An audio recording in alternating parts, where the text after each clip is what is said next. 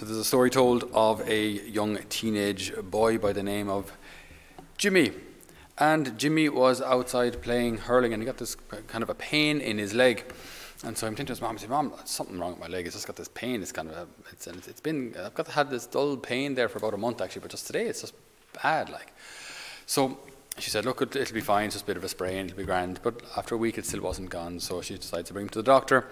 Doctor organizes a scan, and lo and behold, they discover that he has uh, cancer. So he's got uh, a cancerous tumor in the leg. So they say, look, he's going to need, it's going into the, the bone marrow, so we, we're going to need, um, he's going to need blood. Uh, he's going to need a, a, blood transfusion. So they said, look, if you don't mind, we'll just do a blood test of the members of your family, and we'll see then who has a, a same blood type, and we'll see what we can do. So they do the, the, the, the blood test of the family, and they discover that uh, Jimmy's younger brother, Tom, 12 years of age, actually has the same blood type. So uh, they bring Tom into a room. They say, Tom, um, we've got something to ask you. It's, uh, it's, it's pretty serious. As you know, Jimmy's sick. Yeah, I saw Jimmy was sick. Yeah, Jimmy's going to need your help. Uh, Jimmy's going to need uh, some of your blood. So uh, would you be willing to do that? Would you be willing to, to go into the hospital and they'll attach you to a machine and then they'll be able to, to, to give uh, him your blood? And, Jim, and, and Tom looks a bit serious and he kind of frowns, as kids do when they're thinking as some of our young people here do as well. And uh, he frowns and he says,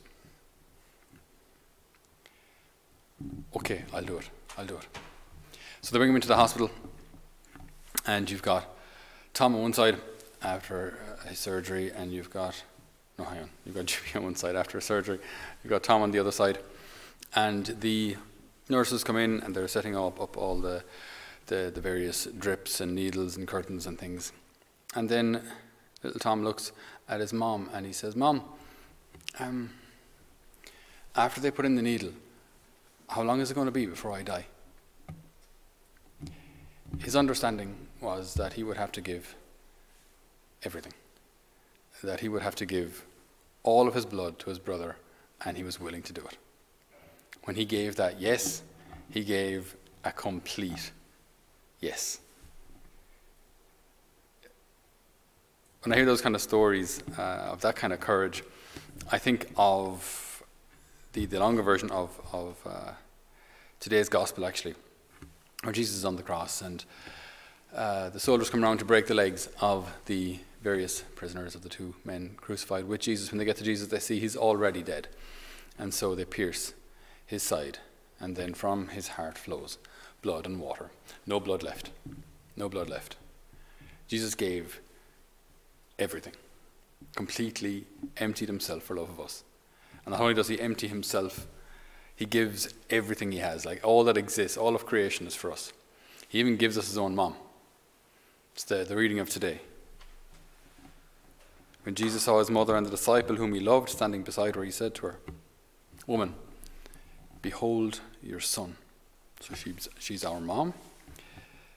Then to his disciple, he says, Behold your mother. And I think it can be that the church goes through uh, a kind of a like a teenage phase. You know, when we're kids, when we're kids, our moms know everything. I remember when I was when I was young, we'd be watching the nine o'clock news.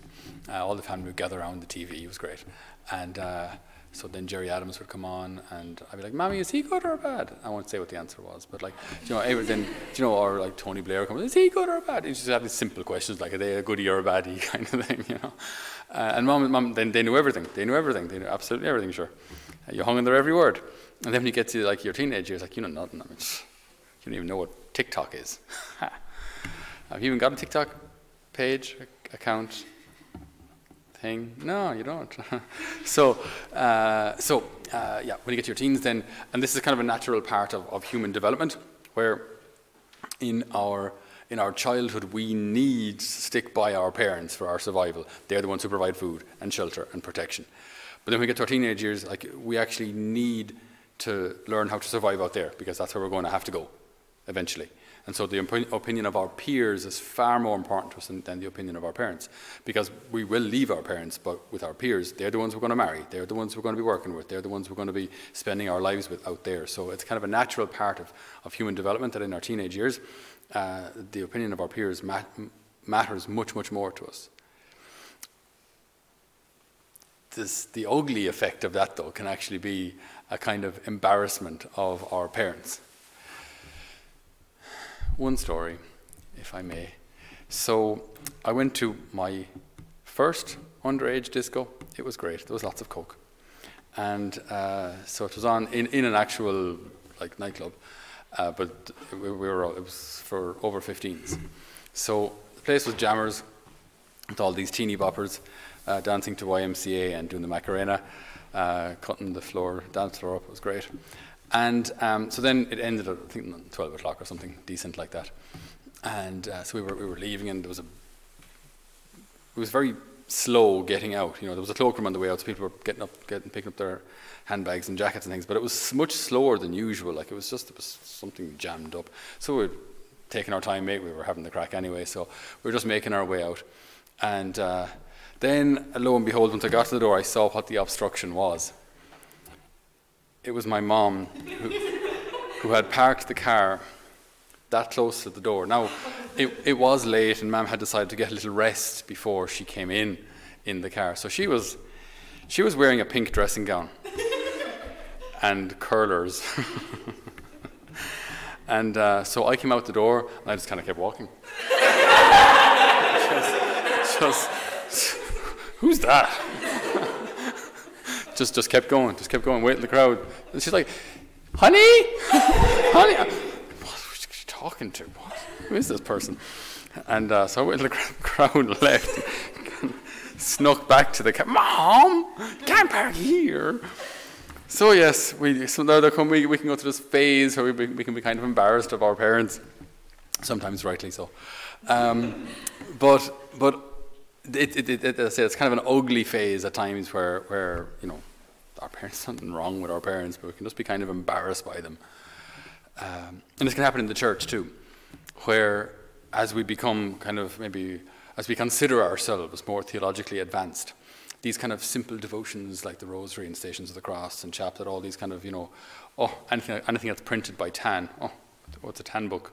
Whoopie doo. Um, you know, anything that's kind of considered devotional is just kind of rejected because we're, we're, way, we're way more advanced. I've read Karl Rahner. You know, who needs the rosary? Who needs like St. Thomas Aquinas when you've got Schillebeeckx? Uh, and it just this kind of arrogance can creep in where these divine decisions, like what, what the Lord is doing on the cross here, this is important.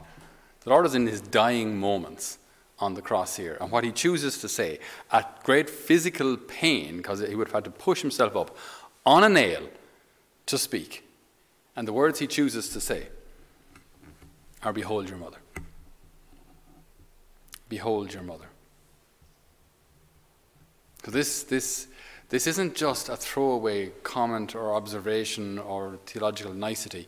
This is something real that the Lord wants to establish in His church, in His family, in His mystical body. That's us. That as Mary gave birth to Jesus' humanity, so in, in, in the church, she is our mother. This is, a, this is a spiritual reality, not just a kind of a devotional nicety or decoration. Our Lady is the mother of the church. And that's, again, sometimes can feel a bit abstract. The church is made up of people, you and I. So Mary, the mother of a church, means Mary is my mom because I'm a member of the church. We're like various organs, various cells in this mystical body. Now, I can't say like, you know, this, you know, part, each cell in your body only has one mom. I mean, there's no other way. It's just the way it works. So, Our Lady then is, is the mother of each cell, each organ, each component, each soul in the church, in the spiritual order. So, this is this is a, a, great truth that, that we, we should never lose sight of. And as if the church, maybe, or some members of the church or some theologians go through this kind of teenage phase of being embarrassed by the simplicity of Marian devotion or something like that, they're wrong. They're wrong. And just like I would hope, most of us then, after that teenage phase has passed and we hit our, our 20s, and especially when you have your first kids and you go back to your mom for advice and you realize, my goodness, I was right when I was six. She's a genius. She knows so much about raising kids. How did you, how did you bring up five of us? I've only got one. This is head wrecking. I haven't slept in three months. And you know, get used to it, love, and, then, and all the advice will come, and the, you know how to win them, and what, what does colic look like, and all this kind of thing. And the the the the, the, the genius, the, the the the wisdom of your mom will be revealed in later years when maturity comes. And so I think in, in, in, the spiritual life, as we become actually more mature, it's not the opposite. It's not, it's not that, it's not that the more infantile we become or the more kind of stupid we become in the faith, the more these devotions appeal to us. No, I think the, the deeper we get, the more profoundly united we are with Jesus, her Son, the more we begin to recognize the greatness of the saints, the greatness of, of, of the Mass, the greatness of Our Lady. The more mature we become in our faith, the more these become life giving. Just as Jesus on, on the way of the cross uh, was so consoled by the presence of his mom. And just in, the, in, in a similar way, that these big burly fishermen who hit, headed for the hills when the going got tough, and this petite little Jewish lady hung around to console her son. This, this, this, the greatness of Our Lady in her simplicity, the greatness of Our Lady in her humility, the greatness of Our Lady in her profound love. How much we can learn from her, and how much we will learn from her.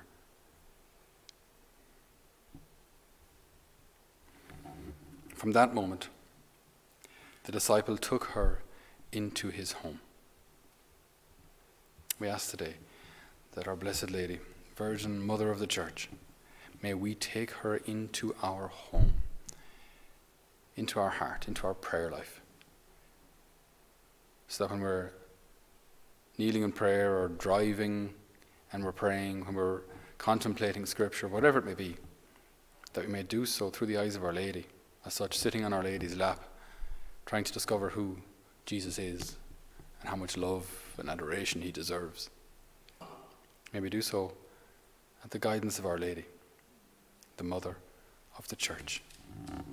Amen.